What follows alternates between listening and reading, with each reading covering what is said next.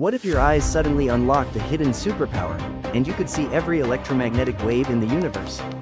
Not just colors, not just light, but radio waves, X-rays, microwaves, gamma rays, Wi-Fi, everything. At first, it feels magical. The night sky explodes with neon storms of radiation. Every star becomes a swirling rainbow galaxy. You're seeing the universe exactly as it truly is, wild, chaotic, overflowing with hidden energy. But then reality hits you. Your room becomes a nightmare. Invisible Wi-Fi signals fill the air like glowing webs.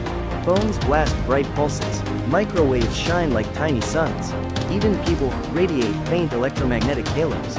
Your brain can't handle it. Every direction is blinding. Every object emits something. There are no empty spaces left, only noise. Step outside, and the sunlight isn't yellow anymore. It's a violent explosion of ultraviolet and X-rays, so bright it feels like the sky is on fire. And the universe? It no longer looks peaceful. It's a battlefield of radiation, a constant storm your eyes were never built to see.